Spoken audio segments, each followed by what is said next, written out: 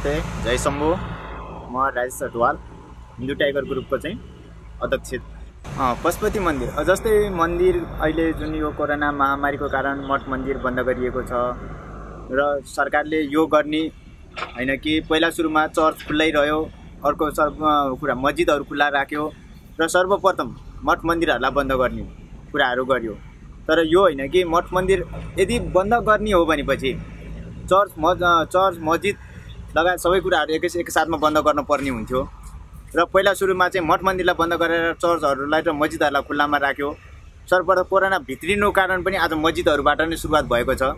तपाईँको तराई भागहरूमा इन्डियाबाट आउने मुसलमान धर्मगुरुहरूले चाहिँ मस्जिदमा चाहिँ नमाज पढ्नको लागि भनेर आउने गरेर त्यसको कारणले पनि हाम्रो नेपालमा कोरोनाको सङ्क्रमित भएको हो। र यो होइन कि मठ मन्दिर यदि बन्द गर्नु नै छ भनेपछि सबै यथास्थानलाई बन्द गर्नुपर्ने थियो। सरकारको मेन गल्ती भनेको चर्च र मस्जिद खुल्ला राखेर मठ मन्दिर बन्द गर्नुको कारण नै मेन गल्ती मैले सरकारको यसमा थमाइराखेको छु। अब यो जुन अहिलेको लकडाउन लगाइएको छ अब सरकारको चाहिँ भनाइ चाहिँ के छ भन्दाखेरि कोरोनाको चाहिँ रोकथामको लागि लकडाउन लगि लमाइएको भन्ने कुराहरू जुन सरकारले गरिराखेको आम जनतालाई चाहिँ।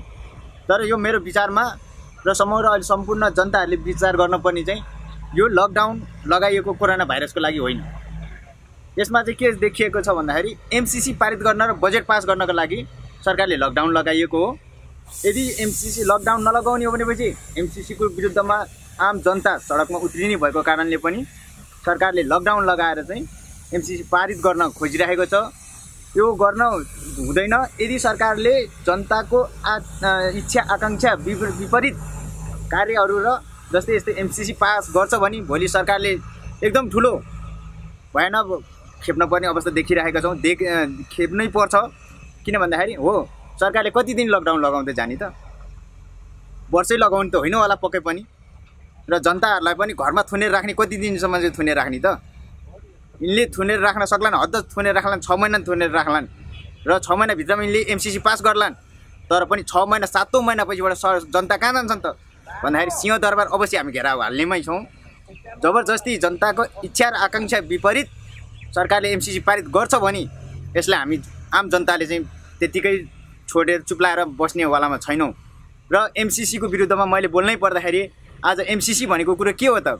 सबैले बुझिरहेका पनि धेरैले बुझे पनि होलान् र कतिपय व्यक्तिहरूले नबुझेका पनि होलान् र कतिलाई यो पनि लागेको होला कि अमेरिकाले यत्रो सहयोग गर्न लागिरहेको छ यिनीहरूले चाहिँ किन यसको विरोध गरिरहेको छ भन्ने कुराहरू होला। जुन एमसिसीमा यहाँ लेखिएकै छ एमसिसीको जुन बुदाहरू तपाईँको के छ भन्दा धारा नम्बर तिन दफा तिन पोइन्ट दुईमा सम्पूर्ण वैदिक सम्पत्ति अमेरिकाको माताहतमा रहनेछ। के हाम्रो जुन वैदिक सम्पत्ति एमसिसी पारित हुनासाथ अमेरिकालाई हस्तान्तरण गर्न पनि भन्ने हो र यसमा के आम जनता चुप्लाएर बस्छन् र अर्को धारा नम्बर धारा तिनको दफा तिन पोइन्ट आठमा परियोजना लेखा परीक्षण अमेरिकाको कम्पनीले मात्र गर्नुपर्नेछ जुन पनि लेखा परीक्षा कार्यक्रमहरू हुन्छ भनेपछि अमेरिकाले मात्रै गर्नुपर्ने हुन्छ। के यस्तो यस्तो पनि नेपालमा पारित गर्न सकिन्छ? हामीले हिजो जनता जनताहरूले भोट दिएको नेपालमा एमसिसी पारित गर्नको लागि दिएका होइनौँ होला त पक्कै पनि। आज के यिनीहरूले सत्ता कब्जा गरे बहुमतको सरकार भयो भन्दैमा चाहिँ के देशै बेचेर खान चाहिँ जनताहरूले यिनीहरूलाई त सिंहदरबारभित्र छिराएको होइनन् होला पक्कै पनि।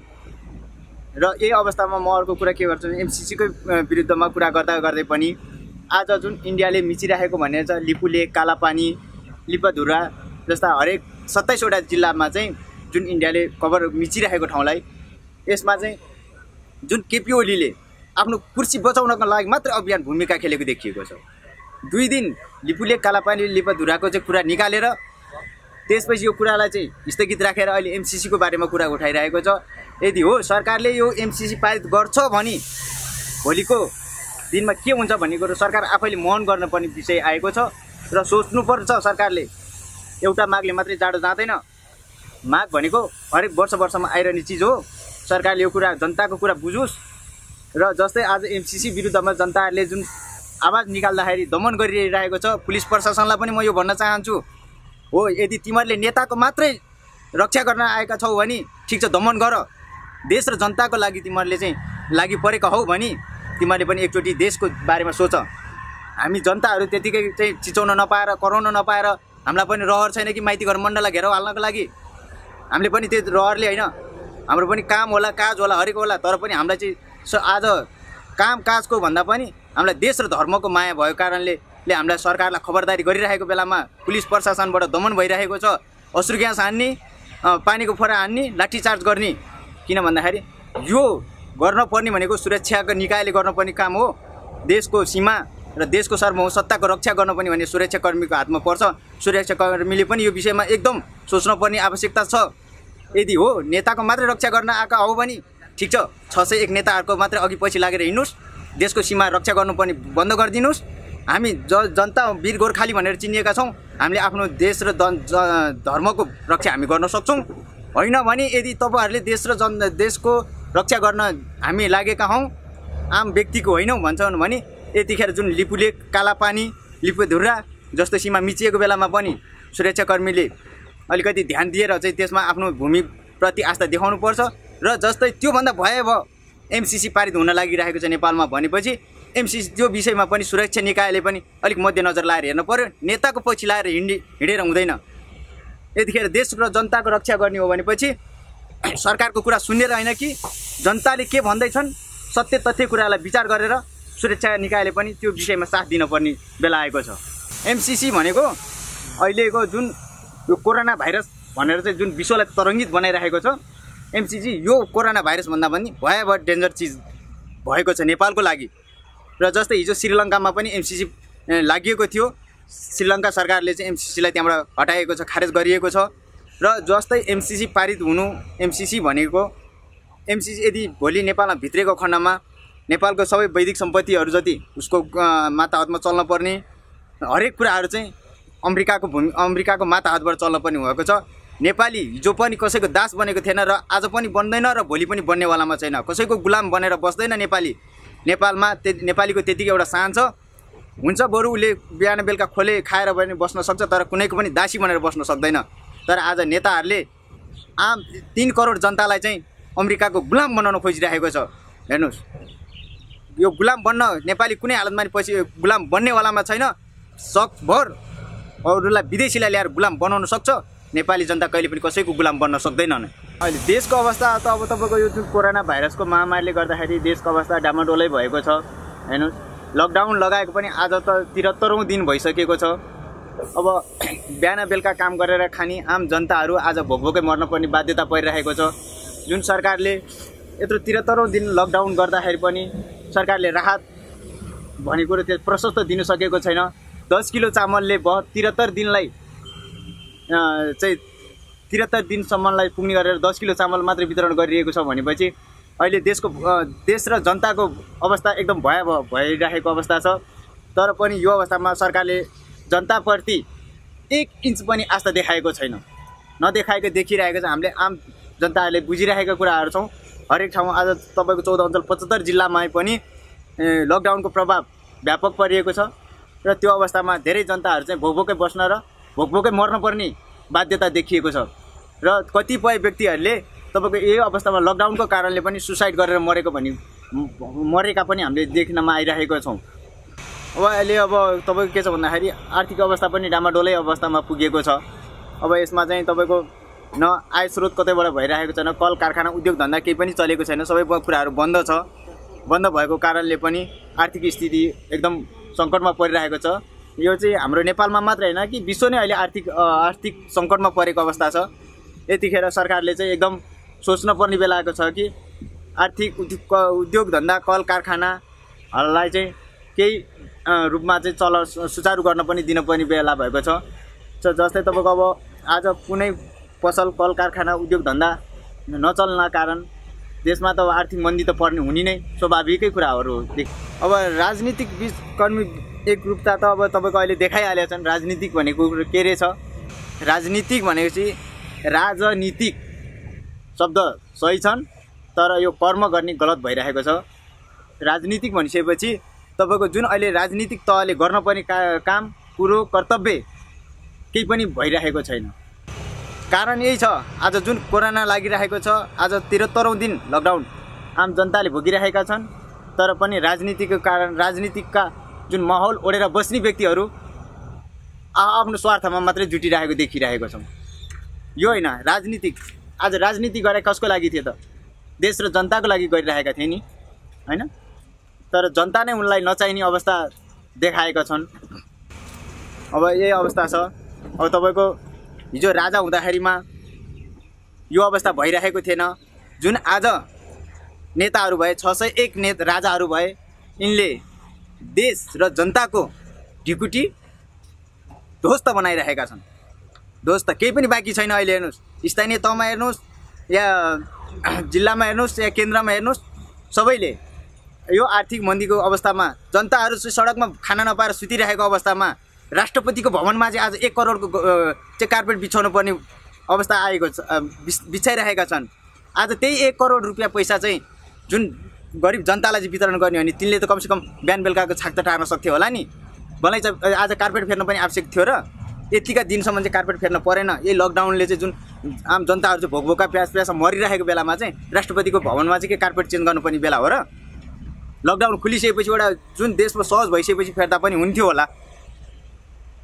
करोडकै गलैँचा फेर्न कार्पेट फेर्न पनि भनी त होइन नि। आखिर कार्पेटले त खाना दिँदैन थियो होला लाउनु दिँदैन थियो होला। हिजो त्यही गरिब जनताको भोट र मत मतले गर्दाखेरि आज तिनी पनि राष्ट्रपति भएका हुन् र त्यो केपी ओली पनि प्रधानमन्त्री भएका हुन्। हामीले चाहिँ जनताले भोट दिएको तिनलाई राष्ट्रपति र प्रधानमन्त्री बनाउनको लागि र एक करोडको कार्पेट फेर्नको लागि दिएका होइनौँ। जनतालाई जब दुःख सुख पर्छ यतिखेर सरकारले हामीलाई चाहिँ केही सहयोग गर्ला। भन्ने एउटा सोच विचार भएको कारणले नै हामीले चाहिँ लाई उसलाई कुर्सीमा पठाएका हो नि त। आज जनता चाहिँ देखिरहनु भएको छ तपाईँको तराईको भेगमा कतिपय जनताहरू भोकभोकै बसिरहेका छन् प्यास प्यास बसिरहेको छ कसैको चाहिँ जुन भूकम्प गएको पनि आज चाहिँ तपाईँको पाँच वर्ष पुरा पुरा छ वर्ष लागिसकेको छ। भूकम्पको अवस्था भूकम्पले जुन क्षतिग्रस्त बनाएको ठाउँमा आजसम्म मान्छेले घर बनाउन सकिरहेका छैनन्।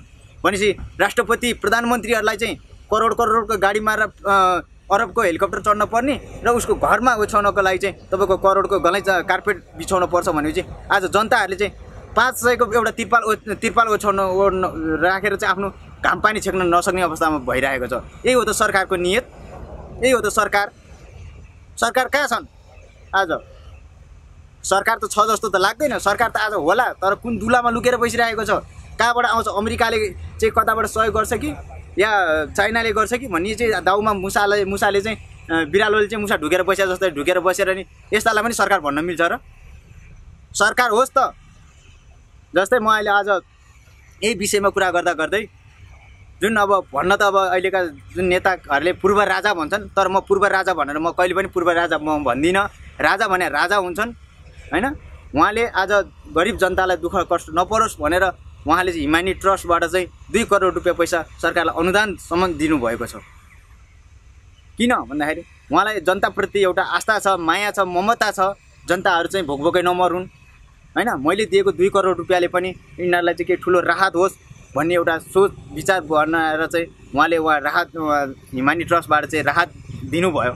जुन यो गणतन्त्रको सरकारलाई भने आज त के देखिएको छ भने त्यही दुई करोड रुपियाँको चाहिँ चाहिँ लिएर चाहिँ उनीहरू चाहिँ का गलैँचा चेन्ज कार्पेट चेन्ज गर्नेसम्म उनीहरूको सोच विचार भइरहेको छ। जनता मरुन् उनीहरूलाई मतलब छैन। आज आम जनताहरूले चाहिँ कतिपय उद्योग कल कारखाना व्यवसायीहरूले राहत वितरण गरिरहेका छन्। हरेक ठाउँ ठाउँमा पुगेका छन्। राहत वितरण गर्न भने चाहिँ राहत वितरण कार्यलाई पनि एकद्वार प्रणाली भनेर चाहिँ लागू गराएर चाहिँ वितरण गर्न रोक लगाइरहेका छन्। आखिर जनताको सरकारको मनसाय यो रहेछ कि जनता सरकारलाई चाहिँदो रहेनछ? चाहिँदो रहेनछ भन्ने कुरा यहाँ पुष्टि भएको छ। र सबैले दे- बुझ्न पनि बेला यो छ कि राजा भने के हुँदो रहेछन् र छ सय एक राजा भनेको कुरो के हुने रहेछन् भन्ने कुराहरू मैले यहाँ भनिरहनु भन्दा पनि अहिले आम जनताले बुझिसकेका कुराहरू हुन्। राजा भनेका घरका अभिभावक हुन् छ सय एक भनेका छिमेकी हुन्। सम्पूर्ण जनताहरू चाहिँ लागेर जुन यो कोरोना भाइरसले आज हामी आम जनतालाई एउटा राम्रो पाठ पनि सिकाएको छ। राम्रो पाठ सिकाएको छ। अब भनेको राजा भनेको के हो रहेछन् र नेता भनेका के रहेछन् भन्ने कुराहरू अहिले दुधको दुध पानीको पानी बनाइदिएका छन्। अब सम्पूर्ण जनताहरू चाहिँ एक भएर राजसंस्था फर्काउन सक्यौँ। राजसंस्था फेरि हामीले राजालाई चाहिँ राजगतिमा ल्याएर राख्न सक्यौँ भने नेपाल पनि रहन्छ नेपाली पनि रहन्छ र धर्म संस्कृति संस्कार सबै रहन्छ। यदि हामीले यो गर्न सकेनौँ र कुनै नेताकै झन्डा बोकेर उसैको अघि पछि लागेर हिँड्छौँ भने न नेपाल रहन्छ न नेपाली रहन्छ। यो कुनै पनि नरहने निश्चित छ। हेर्नुहोस्। यो चाहिँ अहिले सबैले बुझिसकेका कुराहरू हुन्। राजा रहे देश रहन्छ। राजा नरहे न देश रहन्छ न धर्म रहन्छ न संस्कृति रहन्छ केही पनि नरहने यो कुरा चाहिँ निश्चित छ हेर्नुहोस्। अहिले अब हामीले राजा नै फर्काउनु पर्छ भनेर हामीले पनि एकदम सङ्घर्षपूर्वक लागिरहेका छौँ। र हरेक म चाहिँ एउटा हिन्दू टाइगर ग्रुपमा चाहिँ आबद्ध भएको कारणले मैले हरेक जिल्ला जिल्लामा गएर चाहिँ यसलाई चाहिँ आम जनताहरूलाई नबुझेको कुराहरूलाई बुझाउन बुझाउने प्रयास पनि गरिरहेको छु। यो लकडाउनको कारणले गर्दाखेरि अहिले के छ भन्दाखेरि एउटा जिल्लाबाट अर्को जिल्ला जान सकिरहेका छैनौँ। त्यो भएको कारणले पनि अब लकडाउनलाई चाहिँ हामीले उल्लङ्घन पनि गर्नु पनि भएन। हो ठिक छ। अब कोरोनाले यो धनी यो गरिब यो चाहिँ बुद्धिजीवी यो विपन्न भनेर कसैलाई नै चिन्दैन। भएको कारणले पनि लकडाउनलाई उल्लङ्घन पनि गरेका छैनौँ। हामीले लकडाउनलाई पालना गरे गर्दै लकडाउन खुलिसके पछाडिबाट हामीले योलाई चाहिँ जुन राष्ट्रता फर्काउनुपर्छ वैदिक सनातन धर्मलाई कायम गर्नुपर्छ भनेर चाहिँ चाहिँ सोच विचार बनाएर हामी तीव्र प्रत्येक जिल्ला जिल्लामा गएर हामीले आफ्नो समिति गठन गराएर र केही समयभित्रमा हामीले राष्ट्रतालाई पुनः बहाली गर्ने नि कठोरताका साथ हामी लागिरहेकै छौँ। हाम्रो अभियान भनेको वैदिक सनातन धर्म र राष्ट्रतालाई बचाउनु नै हाम्रो मेन अभियान यही हो। हेर्नुहोस्। मैले अघि पनि भने धर्म संस्कृति संस्कार यसको मूल जडो भनेको सिर्फ एउटै हो राजा। राजा रहे धर्म संस्कृति संस्कार सबै रहन्छ। राजा नरहे हाम्रो न नेपाल रहन्छ न नेपाली रहन्छौँ। यो कुरामा कुनै कुनै पनि दुई मत छैन। जुन यो लकडाउन लागिकन र कोरोना भाइरस लागिकन तपाईँको सयमा पचासी पर्सेन्ट जनताहरूले चाहिँ यो कुरालाई चाहिँ विश्व पूर्ण रूपमा विश्वास बुझिसकेका छन् र विश्वास पनि छ। सबैले बुझ्छन् यो कुराहरू। अब जुन राजनीतिक भनेर कुरा आयो राजनीतिक भनेको नेपालमा भएको छैन।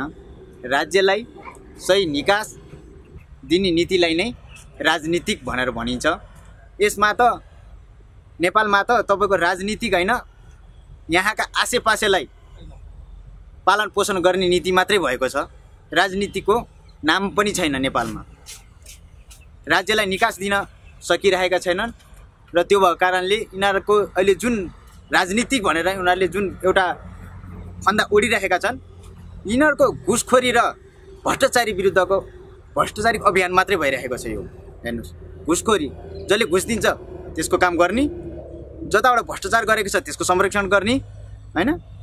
त्यो भइरहेको छ। राजनीतिक शब्द भनेको नेपालमा भएको छैन। भ्रष्ट नीति भएका व्यक्तिहरूको व्यक्तिहरूले भ्रष्टै नै काम गर्ने भएका कारणले पनि यिनको राजनीतिक भनेको भ्रष्टाचार जुन भ्रष्टाचार मात्रै गरिए गर्ने देखिएको छ।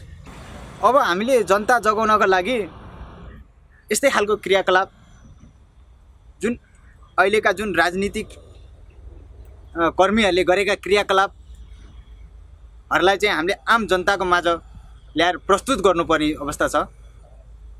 किन भन्दाखेरि हामीले यिनीहरूको बढाइ चढाइ गरेर कुरा गर्नुपर्ने आवश्यक छैन। यिनले गरेका कार्यक्रमलाई चाहिँ हामीले आम जनताको माझ जस्तोको दुस् दुस्तको दुस्त लगेर देखाउनु नै देखाउन सक्यौँ भने नै हाम्रो यही हो कार्ययोजना अगाडि बढ्छ। हिजोको दिनमा यिनले जब जस्तै मानौँ कुनै पनि राजनीतिक उनीहरू आफ्नो ठाउँमा पुग्नको लागि जनता माझ गएर चाहिँ कुन कुन कुराहरू चाहिँ भनेका थिए तिमीहरूलाई चाहिँ यस्तो विकास गरिदिन्छु उस्तो गरिदिन्छु यहाँ गरिदिन्छु त्यहाँ गरिदिन्छु भनेर चाहिँ जुन आम जनताबाट चाहिँ भोट लिएर आज चाहिँ प्रधानमन्त्री र मन्त्रीदेखि प्रधानमन्त्रीसम्म भएका छन् आज यिनले देखाइसकेका छन् कि तपाईँको जुन अहिले यो महामारी कोरोना भाइरसको कारण पनि यिनीहरू चुकेको यसमै छन्। हेर्नुहोस्। र आम जनताले यतिखेर बुझिसकेका छन्। यिनले के गर्दैछन् भने सबै ठाउँमा त तपाईँको यसमा पत्र पत्रिका पनि पुगेको छैन होला रेडियो टिभी छैन होला हरेक ठाउँ ठाउँमा चाहिँ सामाजिक सञ्जालबाट पनि सुन्न सकेका छैनन् होला। त्यो त्यो ठाउँमा गएर हामीले जुन यिनले गरेका क्रियाकलापलाई चाहिँ हामीले आम जनताको माझ चाहिँ हामीले पर्दाफास गरेर नै हामीले जनतालाई चाहिँ एकमुष्ट अगाडि बढाउन सक्छौँ। अब जस जहाँ जहाँ अन्तिममा चाहिँ म के भन्न चाहन्छु भन्दाखेरिमा जुन हामीले एउटा आफ्नो देशलाई बचाउनु छ भने आज देखेका छौँ कि हाम्रा नेताहरूले हरेक कुराहरू गरे हरेक कुराहरू गर्छौँ भनेर आश्वासन आम जनताहरूलाई दिँदै आएका पनि थिए। आज छर्लङ्ग भएका छौँ। के रहेछ त? नेताहरूले के के गरिरहेका छन् भन्ने कुराहरू नेताहरूले गरेका छन् नगरेका होइनन् धेरै महान काम गरिरहेका छन्। आज एमाले भन्छ काङ्ग्रेसलाई चोर दोष लगाउँछ चाङ काङ्ग्रेसले माओवादीले दोष लगाउँछ यिनीहरूको जुन अहिलेको राजनीतिक माहौल भनेको अर्कापाथि आरोप र प्रति आरोप लगाउने बाहेक विकल्प अरू केही पनि देखिएको छैन। यदि हो हामी सच्चा नेपाली हौँ भने आज आफ्नो नेपालको संरक्षण गर्नुपर्छ नेपाललाई जोगाउनुपर्छ भने आज हामी कुनै जात जाति र भाषाभाषी भनेर चाहिँ छुटाउने होइनौँ हामी आम नेपाली भएर आफ्नो देशलाई जोगाउनको लागि लागि परौँ र देशको संरक्षण र नेपालको संरक्षण गर्ने भनेको राजा भनेको राजै हुँदो रहेछन्। राजा भनेको बाउ हुन्। बाउले कहिले पनि आफ्ना छोराछोरीलाई लाई मरोस् उ गरोस् भन्ने कुराहरू कहिले पनि सोच्नुहुन्न र सबै जनताहरूले चाहिँ एकमुष्ट भएर लागि परेर र छ सय एक छोटे राजा पाल्नु भन्दाखेरि एउटा राजा पालेर आफ्नो देशलाई उन्नति र प्रगतिको शिखरमा पुर्याउनको लागि आम नेपाली नागरिकलाई म यही यहाँबाट नै भन्न चाहन्छु। हामी एक हौँ नेपाली हौँ। र एमाले होइन काङ्ग्रेस होइन माओवादी होइन राप्रपा पनि होइन।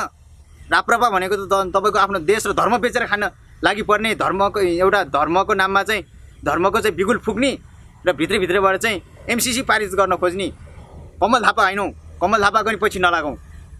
यो होइन हामी सच्चा देशभक्त नेपाली हौँ। जस्तै हिजोको दिनमा हाम्रा बलभद्र कुमार अमरसिंह भानुभक्त माथेमा जस्तो नेपाली भएर चाहिँ फेरि पनि हामीले यस भूमिको रक्षा गर्नको लागि र आफ्नो वैदिक सनातन धर्मको र जोगाउनको लागि हामीले राजा नै नल्याए हाम्रो कुनै पनि विकल्प छैन र अहिले फेरि पनि म भन्छु कुनै जात जाति भाषाभाषी भनेर होइन हामी आम जनता नेपाली भएर बचौँ र नेपाली नै नेपाली के हो र नेपालीको दायित्व पुरा गर्न सिकौँ। र जसरी पनि हामीले नेपाललाई बचाउनु छ वैदिक सनातन धर्मको रक्षा गर्नु छ भने हामीले राजसंस्थालाई राजा नै ल्याउनु पर्ने आवश्यक छ।